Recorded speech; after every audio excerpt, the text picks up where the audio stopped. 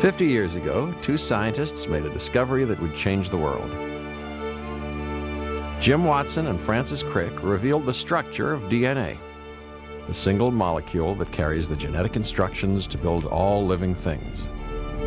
We'd done something really important. We had discovered the secret of life. But how could the billions of lines of genetic code that make everything from a human to a hippo be unscrambled?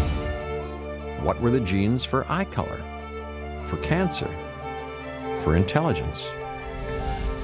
Searching for the answer triggered the creation of a powerful new technology, genetic engineering.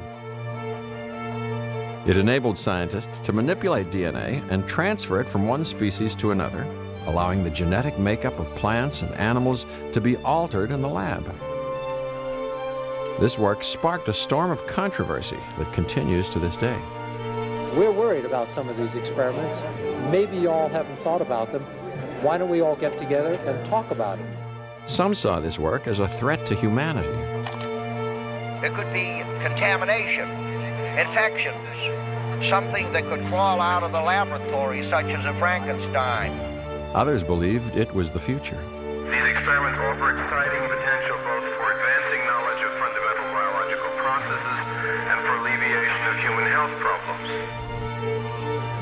first time, humans would have the power to accelerate evolution according to their own design and alter the destiny of life on Earth.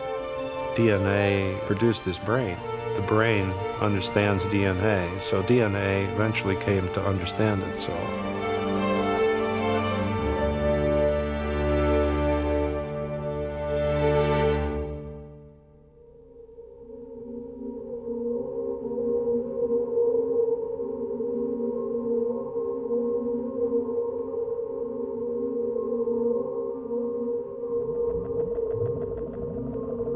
Inside every cell of every living thing is an incredibly long molecule of DNA. If we could magnify DNA 10 million times, this is what it would look like. Scientifically accurate computer animations enable us to see how it is intricately wrapped up inside each of our cells like a thousand mile long strand of spaghetti. Biologists knew that hidden within these coils were a large number of different genes, but where did one begin and another end? Which genes made flesh and which ones blood? Could they find all the genes that make the proteins of our body? To solve this puzzle, they needed to find a way of cutting the strand into manageable gene-sized chunks. Back in the 1970s, in California, a group of scientists came up with a radical idea to tackle this problem. If they could isolate individual genes and transfer them to another species, they might be able to understand how they worked and what they made.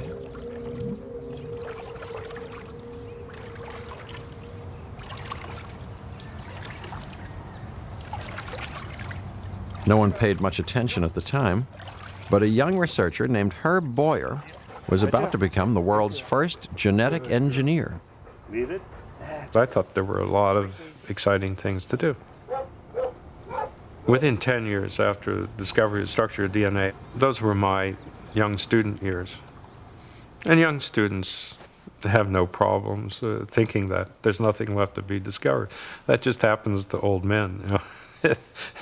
or older men. They're, they're the ones that think there's nothing left to be discovered. Working in the lab of a San Francisco hospital, Boyer spent his days studying tiny but remarkable creatures bacteria. Because they are simple and breed rapidly, they make ideal experimental subjects.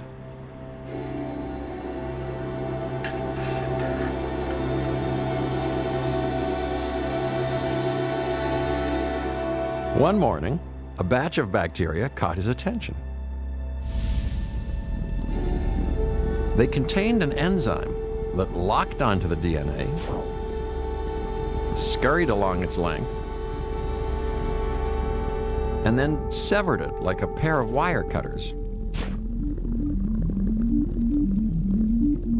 In theory, the strand left dangling could join up with any other piece of DNA. When Herb Boyer met Stan Cohen at a conference, they compared notes and realized that between them they might just have the tools to do something extraordinary. I was very interested in Herb's science. I thought the work that he was doing was exciting, and I thought the ability to use enzymes to cut DNA in a specific way would be very useful for the kinds of experiments that I wanted to carry out. Cohen had spent years isolating genes from various species. Until now, he had nowhere to put them. Among his collection was a gene from an African clawed toad.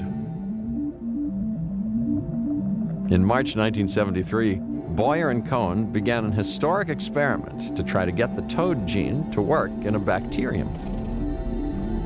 Using Boyer's enzyme, Cohen sliced open the bacterium's DNA and inserted the toad gene. But would the bacterium treat the new DNA as if it was its own? In another part of the bacterium, they would find out. When the toad's genetic instructions were translated from DNA code into the building blocks of all life, protein, incredibly, the bacterial cells were tricked into producing toad protein. DNA's instructions for creating living matter were universal.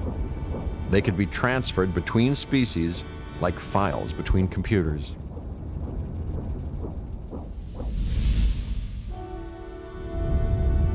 The single bacterium multiplied rapidly into millions, each an identical copy of the original.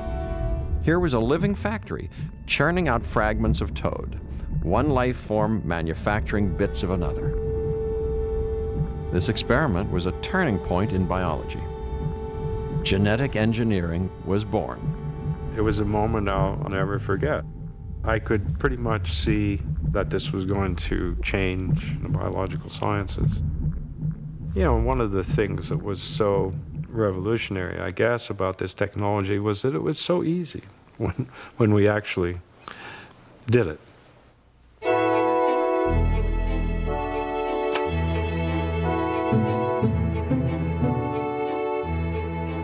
News of the breakthrough spread quickly. Everyone wanted to try gene splicing to see what they could create. But just as the new science was about to take off, there were the first rumblings of trouble ahead. When they reported this, I think people were astounded that it could be done that easily and the promise that provided for new kinds of experimental approaches. But there were a few people in the audience who in fact, were concerned about the possibility that people would put things into these bacteria that would, in fact, create some public health hazard. At Paul Berg's lab, they were experimenting with genes that cause cancer.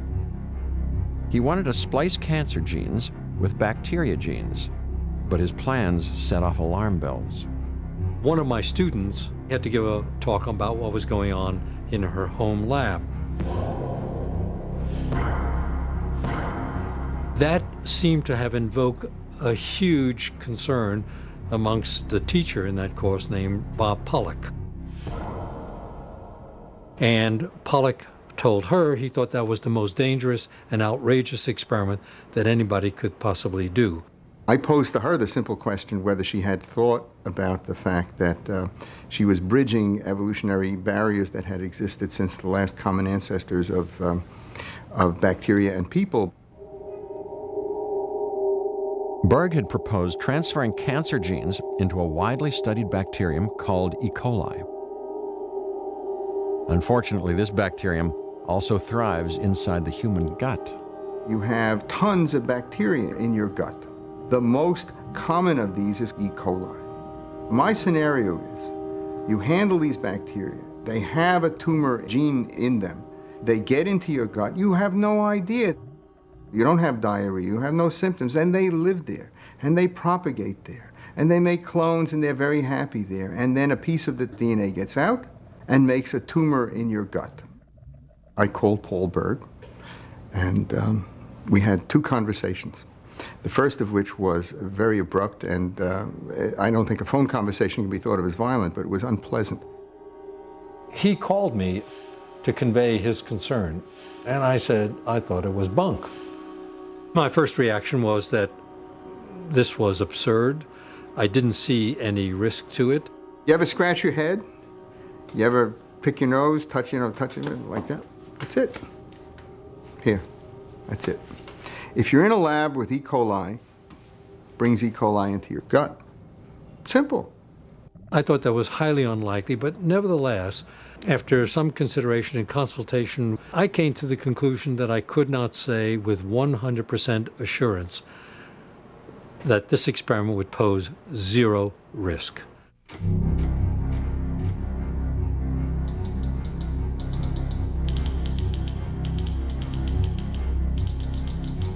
Berg called for a temporary halt to all genetic engineering experiments. He invited biology's leading thinkers to a summit to assess the real risks. We're worried about some of these experiments. Why don't we all talk about it and see collectively whether there is, in fact, any basis for this concern? Are there risks? And if there are, what do we do about it? It was the period of just after the Vietnam War. People were concerned about doing things that would come back to haunt us. So I think there was probably a little extra sensitivity to doing something responsible. The ban on DNA experiments put the future of genetic engineering in the balance.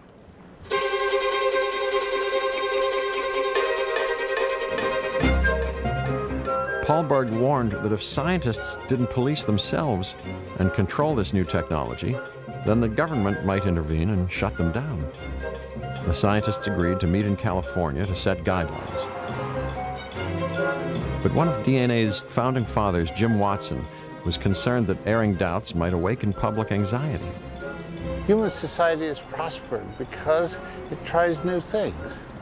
Some people are afraid to do new things. You know, I guess you call them conservative. I've never been conservative uh, about moving ahead uh, unless I had reason to worry. I thought these people just want the world to stay as it is. And I don't want the world to stay as it is.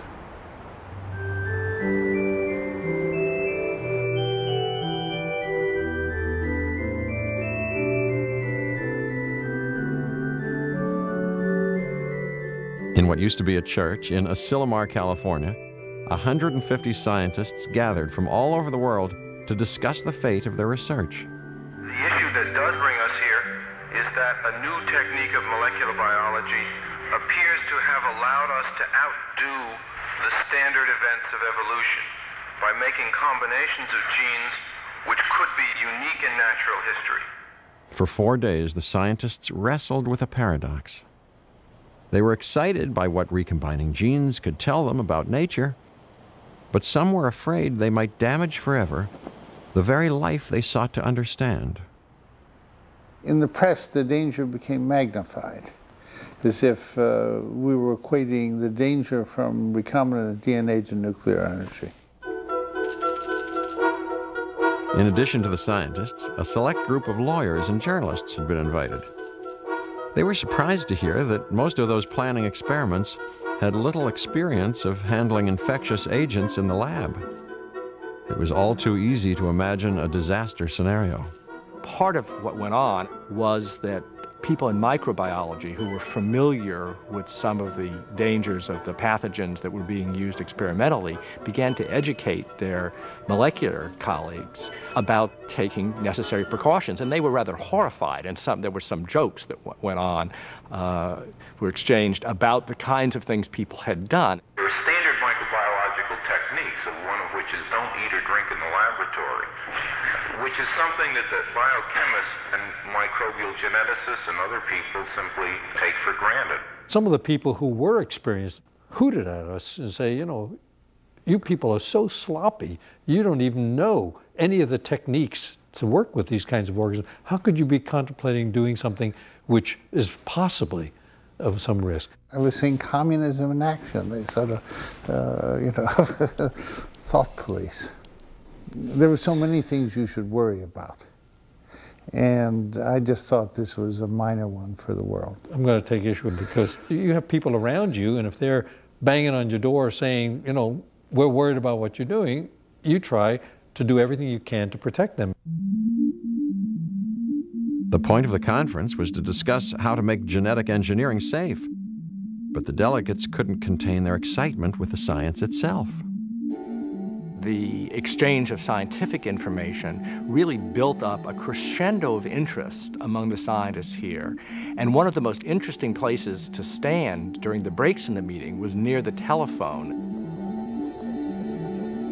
People lined up to get to the payphone and to call their labs and say, oh, I've just learned this or that wonderful thing. When I get back next week, we're going to start on this or that. They were simply learning from each other. The presentations here were cutting edge presentations. I feel very strongly that it is an experiment which should not categorically ever be done, period. As the scientific debate flourished, questions of public safety took a back seat. That's not, my understanding is it should not be done now. They were about to receive a reality check. The last night, just before we broke for the beer, uh, was when the lawyers spoke. They were the last ones on the program that night, and they put the fear of, of God into people in the audience. It is exhilarating to hear about the delightfully clever things your colleagues have just discovered, so that you may emerge from a session not filled with concern over the hazards, but inspired instead by a desire to pursue the research to the next tantalizing goal. Many people have talked about academic freedom. Freedom of thought does not encompass freedom to cause physical injury to others. I think that Not everyone welcomed the lawyer's warnings. I've always disliked them. I mean, you know, because they, uh, they want to put off obstacles. Part, I thought, of my mission that evening was to, to ask them to step back and re examine why they were here and to realize that if they didn't do it, there were a lot of people standing uh, uh, around in the rest of society who would be rushing in to do it. Oh, let them sue us. Uh, generally, uh, if you look, Congress only acts after someone gets sick or a disaster. Nothing had happened. So I don't really think laws would have been passed unless something had happened.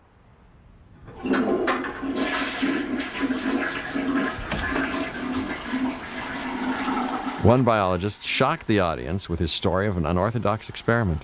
Sidney Brenner was so convinced the risks were minimal that before he came to Asilomar, he used himself as a human guinea pig. I said, I want to do an experiment uh, on myself. Oh, they said you should get advice on this. So I said, who should I get advice from? Oh, they say, well, talk to somebody about it. You know, this you got to do. It's human experimentation. So I sort of said, they didn't tell me who to talk to. So I thought, you know, I could go and talk to someone in a pub and say, what do you think? I'd like to do this experiment.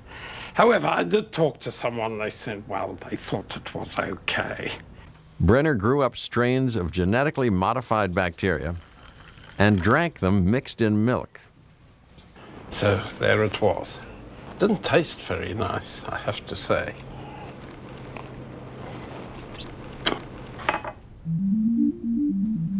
Every day he collected his excrement to search for signs of foreign genes. He didn't find any. For Brenner, that showed that the DNA was broken down in the human gut and rendered harmless. Despite the scatological evidence, the delegates remained divided.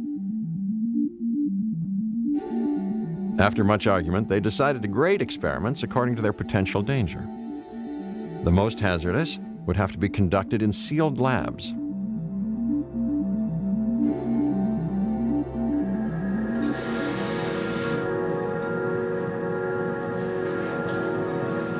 The most extreme form of containment would be called P4.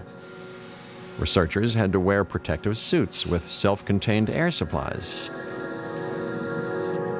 They entered the lab through an airlock. It was like working in space.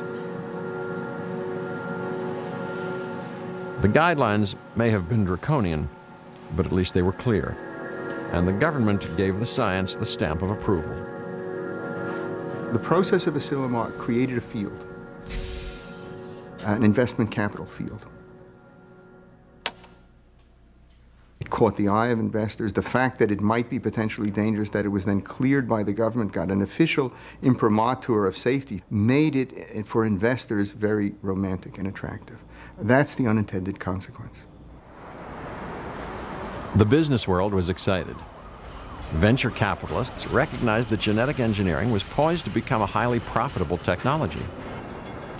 But their wager on DNA was based on a critical assumption that genetic engineers could protect their invention in the same way as other engineers. The law was put to the test in Chicago in 1978 in a landmark case that determined whether living things could be patented. A young Indian researcher working for General Electric, Ananda Chakrabarty, designed a bacterium that could eat up oil spills. His boss was keen to exploit his ingenuity.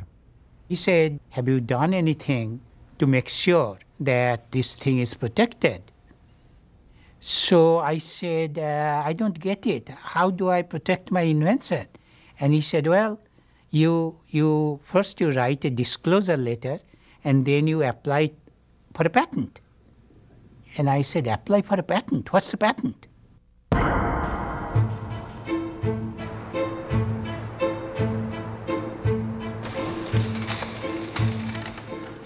Every day, the U.S. Patent Office receives hundreds of applications to register original inventions. If successful, these descriptions, or patents, grant ownership of the invention to the inventor and prevent others from copying the idea without permission or payment. Most patents were for mechanical devices. Up until the early 70s, a living organism had never been engineered. Biologists had never thought of themselves as inventors. GE had patents on toasters, refrigerators, washing machines, electrical circuits, and so on. And that has never created any problem because we accept the fact that inanimate objects can be patented. The problem came to the fore for the first time when we talked about patenting something that's undoubtedly is useful, but that's living. Living, anything that's living, is considered God's creature or a product of nature. Chakrabarty's bacteria ended up in court. General Electric argued that this life form was not a product of nature, but had been created by the minds and hands of humans and could be owned and exploited like any other invention. After months of wrangling, the Supreme Court judges voted 5 to 4 in favor of patenting any form of genetically modified life, from bacteria to bull. So when the Supreme Court uh, allowed patenting of life forms, that really, in a sense, opened the floodgate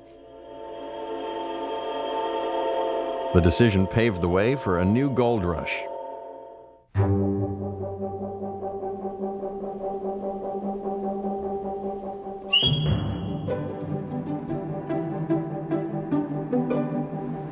Once it was possible to patent genetically engineered life forms, speculators in cities like San Francisco were eager to invest in DNA. There were plenty of young high rollers willing to take a gamble on manipulating bacteria to make useful commodities, such as drugs. A race began to sign up biologists with bankable ideas. A young venture capitalist, Bob Swanson, set his sights on Herb Boyer, one of the scientists who invented genetic engineering. I uh, called Dr. Boyer. He didn't uh, know me uh, at all. I said that I thought this technology was ready to commercialize and uh, I'd like to talk to him about it. Told me he was a venture capitalist. Uh, I didn't know what venture capitalist was, no mistake. And uh, he said he was interested in, in starting a company. Um, he had some money to do so, and that's when I got interested. He said, well, I've been reading about all this technology and you think it can be commercialized? And I said, I think so. He had to estimate what our investment was. So Bob said, well, you know, maybe we'll put up ten, fifteen thousand dollars. So you're crazy, you know. I know, I have a, you know, I'm operating on a shoestring here as it is. Boyer scraped together $500 and put it down as his share of the joint investment. Bob said, well, we need a name for this company we're going to start. I wrote down genetic engineering technology and come out Genentech.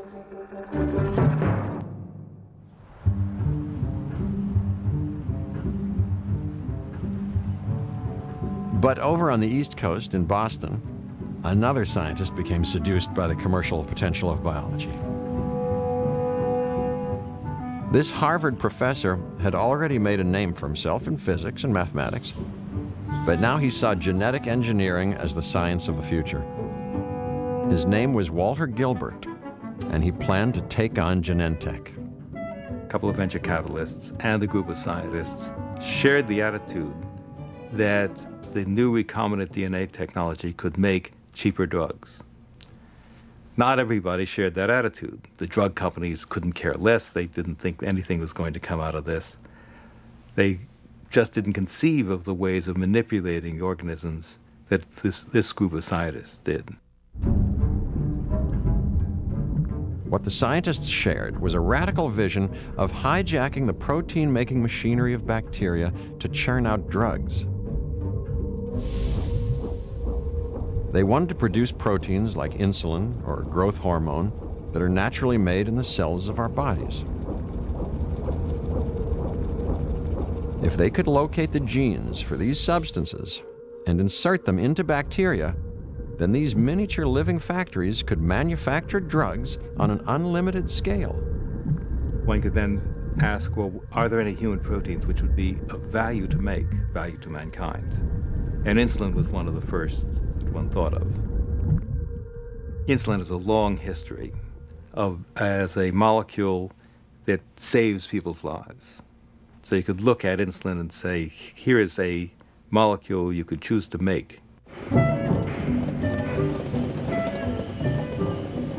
Since the 1920s, insulin had been extracted from the pancreases of pigs and cows to treat diabetics.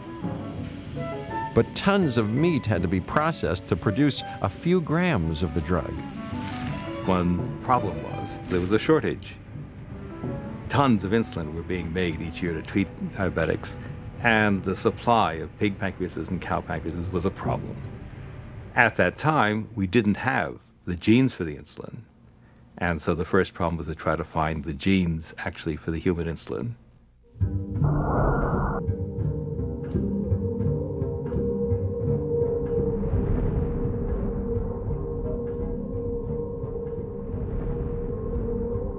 Gilbert set himself the tough task of trying to extract from human tissue the small section of DNA that makes up the insulin gene.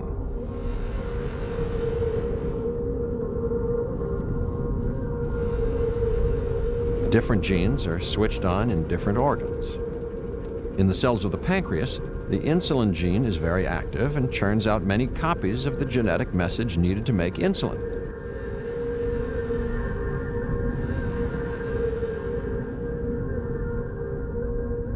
By extracting these, he planned to produce the exact section of DNA that codes for human insulin. But the question came up whether Harvard would allow him to manipulate human genes in an open lab.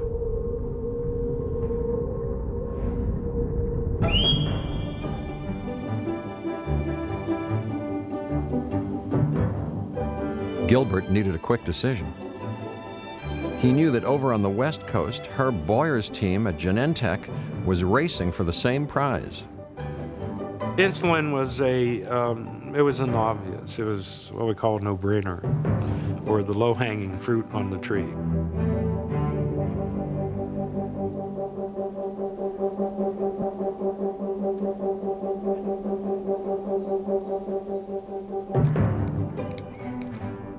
Win the insulin race, Genentech needed a competitive edge. They turned to Dave Goeddel.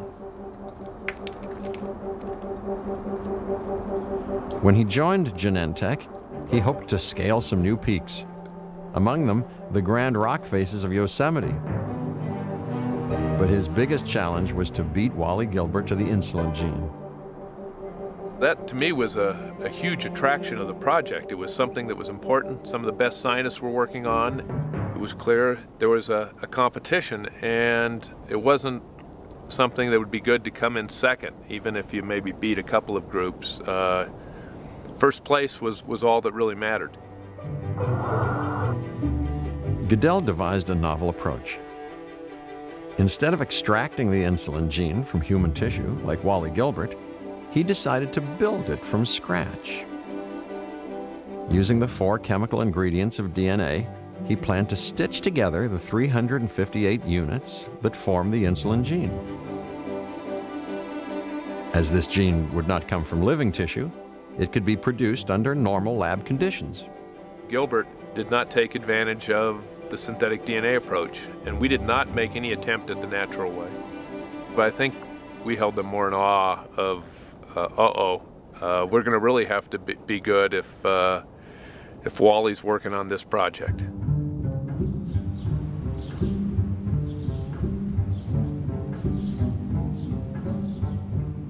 But Wally Gilbert was running into trouble. Others on the faculty began to raise doubts about undertaking genetic engineering experiments at Harvard. Competition at distance is fine. Competition right down the hall is a very nasty thing. One side would say, this is really the interesting part of science. Can we do things that will benefit humanity? And the other side would say, but undergraduates shouldn't do that.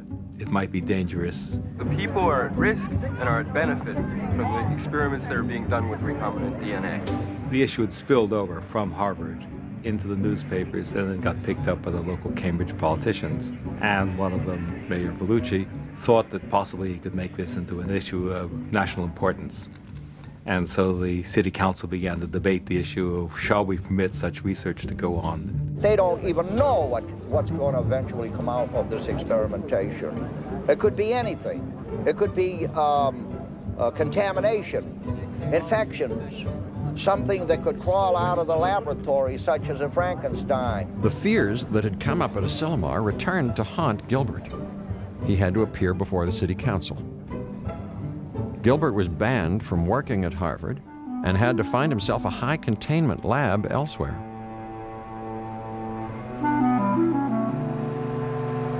He flew his equipment to England, where he was given just four weeks of lab time to complete his human insulin experiment at Britain's top secret germ warfare lab. We had to use much more severe restrictions and worked at Porton Down, which was the British germ warfare establishment, where we could get access to what are called P4 laboratories, laboratories in which you totally change your clothes, shower in, shower out, have gas masks available so that if the alarm goes off, you can sterilize the entire laboratory. It was both extremely frustrating because extremely hard to work under those conditions, extremely exciting because we only have a limited length of time. We're working sort of day and night, late into the night,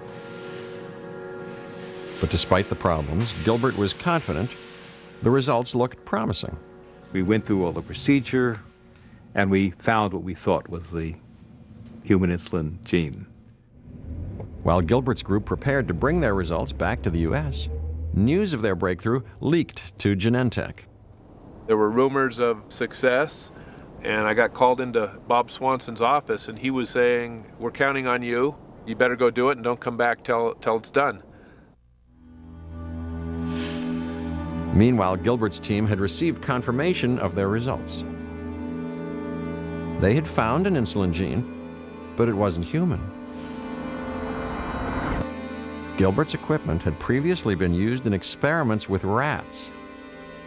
Despite his reputation as a meticulous researcher, sloppy cleaning up had just blown two years' work. We discovered that the gel plates were contaminated with material from earlier experiments rather than the material we wanted to find. Very disappointing, since we only had one shot at the experiment. Now it was Genentech's turn to find out whether their approach had worked. On August 24th, we were getting close, and we watched the data coming off the machine, and yes, it had worked. And Bob asked two or three times, Are you positive? Is this for real? It's not going to be. Come back a few days later and say, Well, we thought we did, but it was wrong. And uh, was able to convince him, yes, that there could be uh, no. There could be no mistake about this result. For Genentech, the battle was over. Nature would do the rest. Goeddel's synthetic insulin gene was copied each time the bacteria divided. All that remained was to ramp up the process until vats of bacteria produced thousands of gallons of this highly profitable drug. Genentech had beaten Wally Gilbert to the prize. You can be lucky, and you can go through a moment in which you have the answer, and you can say to yourself, nobody else in the world knows this particular thing. Feynman once described, you know, the joys of theoretical physics as that moment in which you know something that nobody else knows.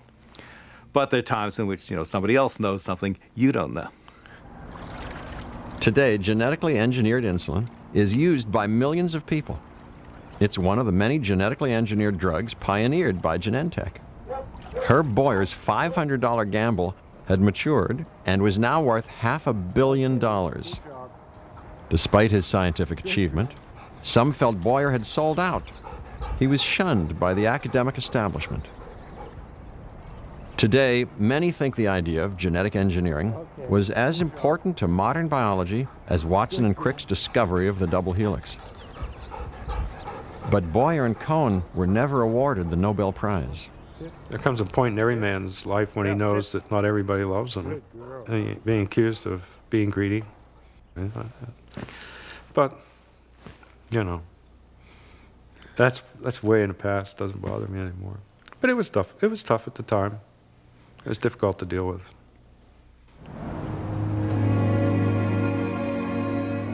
Today, Genentech is as big as a university campus.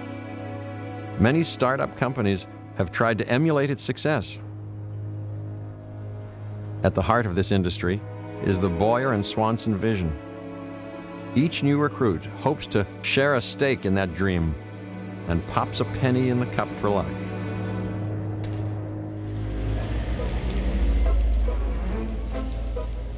Welcome to Genentech. This is our manufacturing site in Vacaville, California. It is the largest manufacturing site in the world for making protein pharmaceutical products. Herb Boyer and Bob Swanson really were visionaries in terms of what they saw they could accomplish, the risks they were willing to take to try and found a company and, and what became an industry.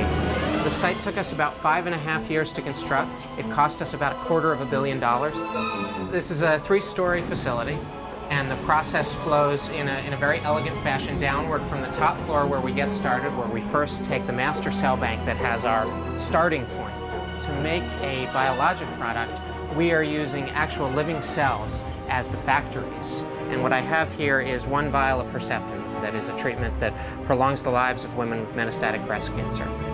So what we're going to show you in this facility is how we've succeeded in scaling up this to something that's capable of producing not one dose, but hundreds of thousands of doses. Uh, to give you an example of the engineering challenges, I think we have 27 miles of piping connecting the various fermenters and the various equipment to each other. 80 liter fermentation tanks, 400 liter tanks, 2,000 liter tanks. That's the train of process that we use to get from really small scale to very large scale. The largest scale that we used here is a 12,000 liter fermentation tank.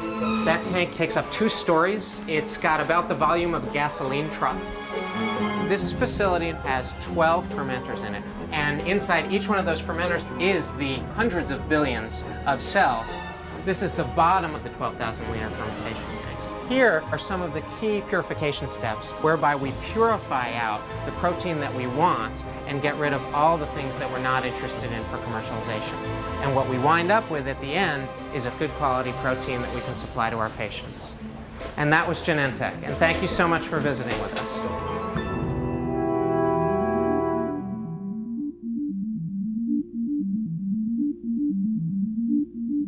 During the 1980s, the biotech business boomed.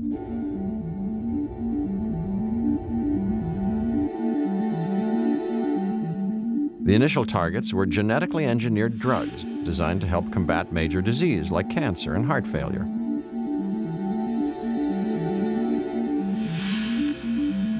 These success stories gave investors an appetite to chase even bigger markets.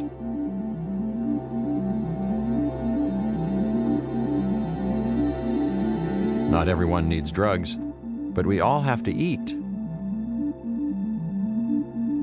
Inspired by his father, who had worked on the Apollo space program, Rob Horsch believed he could make his own giant leap for mankind by becoming the first person to genetically modify plants. He approached a chemical company called Monsanto. The top management at the time viewed it as a high risk, low probability area. And we also had a sense that it was going to be really hard. But Monsanto had little to lose. Horsch's needs were simple. With a paper punch and a box of multicolored petunias, he planned to show how new traits could be engineered into plants. The first step is to select a really good leaf.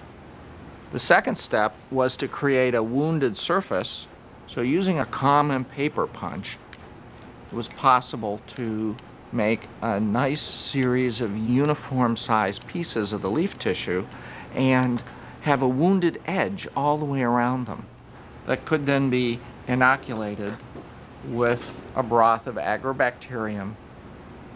Horsch wanted to use the agrobacterium for genetic engineering. In the wild, these bacteria infect plants with rogue DNA and cause disease but in the lab, they can be used to deliver new genes into plants. The agrobacterium is already beginning its process of attaching to the cell wall and transferring the DNA into the plant cell.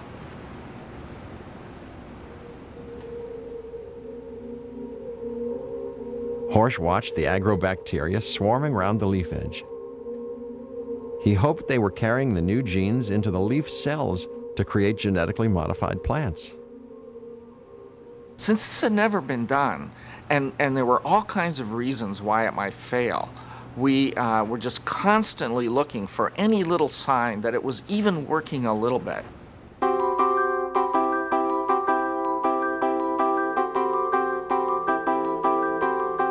first thing in the morning, bright and early, I'd go into the incubators and look at the cultures and see was something growing? Did it look like the gene might be working? And I couldn't go a whole weekend, so I'd have to come in on the weekends to see if the experiments were starting to work. And lo and behold, one day, they were. The first genetically modified plant was about to flower. The first moment was denial. No, no, it, it can't be true. It can't be true you had to look under a microscope to see it. And of course, they, they were telling me, oh, you, you're hallucinating, Horsch. I can't see any difference. But truthfully, they could tell.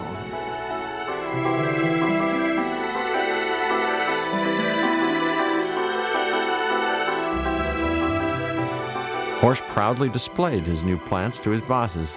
Since we were working with petunias, the reaction of top management to this breakthrough was, uh, that's nice. what do you think you can do with it?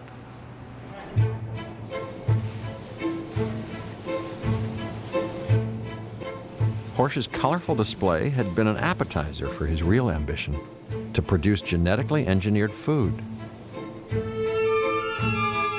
The idea was to modify farm crops to resist disease and improve yields. If it worked, Monsanto might one day be able to control the planet's food production. For Horsch, the next step was the tomato, an ideal test bed for his technology. Tomatoes had always been difficult. They arrived in shops overripe or infected. Horsch dreamed of engineering a perfect tomato that was resistant to disease. After four years in the lab, his prototype was ready to roll. On June 2nd, 1987, an historic occasion occurred in this field. It was early in the morning when we left Chesterfield uh, Research Center in anticipation of planting the first field test of genetically engineered tomatoes. The air was cool and still that morning but we were filled with anticipation. We loaded up the first batch and started to plant. Horsch was desperate for the world to see the potential of GM food. We worked hard to get uh, media coverage of this because we thought it was a fairly historic event. Uh, and it turned out it was very difficult. After uh, a number of letters and phone calls, all we managed to drum up was uh, one part-time reporter. The world's media may have missed the significance of what was about to happen, but Monsanto had not. Horsch was put in charge of a research effort that would herald the biggest transformation in agriculture since the industrialization of farming.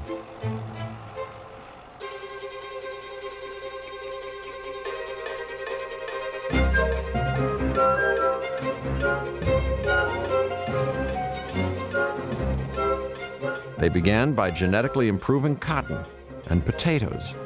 Then they moved on to the major food crops wheat, soybeans, corn, and rice, creating new plants with increased resistance to pests and disease.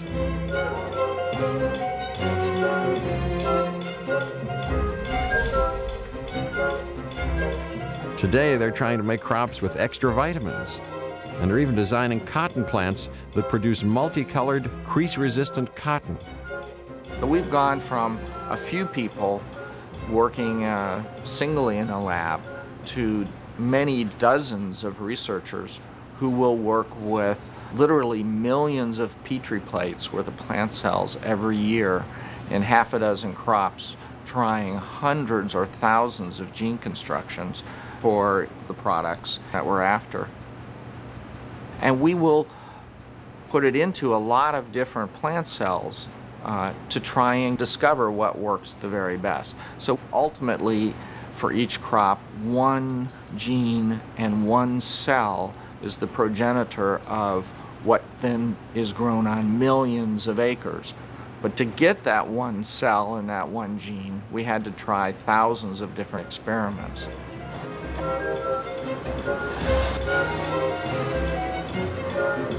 Genetic engineering experiments that would once have taken years can now be done in hours on a robot assembly line. These wells contain hundreds of different genes that might provide insect resistance. If the genes produce protein that kill insect larvae before they hatch, Monsanto will try engineering them into a plant's DNA. What's possible in the genetic code is vastly larger than what nature has had time to experiment with in evolution. We're seeing the ability to start producing starches and plastics in green plants instead of cement and steel plants. We're seeing the possibility to use proteins in medicine that are grown in green plants instead of fermented in cement and steel plants. In two billion years of evolution, just the bare surface has been scratched of what's genetically possible with the genetic code in DNA.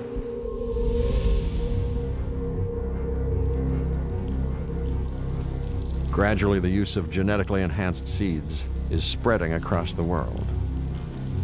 70% of processed food in American supermarkets now contains genetically modified ingredients. But there is global unease, a concern that scientists are playing God before they fully understand the long-term impact on the environment. Some critics worry that a small number of large corporations could end up controlling the seed supply and limit genetic diversity. Many scientists feel the benefits of this technology have not been properly sold to the public. One of the mistakes which I believe the industry made was using modifications that benefit the company and the farmers. The consumer hasn't seen any difference in the quality of the plant necessarily. All he learns about is the possible dangers. The same thing that goes on with making them resistant to certain kinds of pests. Again, what does that do? It increases the farmer's yield. He gets a better crop. The consumer looks at it and says, What did I get out of this? The public fears that surfaced at Asilomar in the 70s returned with a vengeance in Europe in the 90s. But the concerns of the scientists were rarely heard. In fact, the protesters were destroying the very test sites where researchers were trying to assess the ecological impact of GM crops. The anger was fueled by mistrust of the profit motive, which drives companies like Monsanto. But there was a deeper, more fundamental fear. In the end, there still will be the problem of people's innate sense of rightness or wrongness about genetically modifying God's creatures. Uh, there are people who seem to want to resist any tampering with the natural state of affairs. What's interesting about those people is they have no qualms about using pharmaceuticals that have been created by genetic engineering. These are unnatural bacteria producing human insulin. So, why are they so ready to accept that? Because it provides an immediate benefit.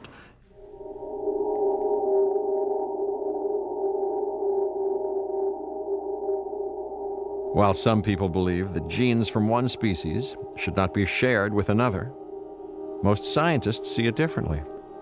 They believe that they're merely accelerating something that nature's been doing for billions of years. Only time will reveal the full results of this man-made global experiment. DNA is so far not proved to be dangerous. No one has got sick at all. It's been perhaps the safest technology ever introduced. So, you know, when you know you can do good, and maybe there's no risk, do you assume that it's going to be the worst or the best? And uh, I think you have to, with prudence, assume that things will turn out well. Since the advent of the recombinant DNA, you can see that biology is moving very, very rapidly. And the rest of the society cannot keep pace. So there would be all these struggles between the society and what you call the scientific free spirit to take our DNA from what it's doing now to what perhaps it could do in the future if it's manipulated sufficiently by people who are determined to do it. But I'm absolutely sure that tinkering of the DNA will be part of that evolutionary process and that the evolution will go on.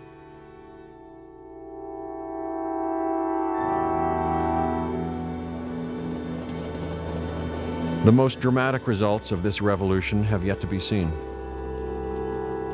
As biologists attain a deeper understanding of DNA, the future evolution of plants and animals will be within their grasp. Perhaps one day they might even be able to control the destiny of the human species.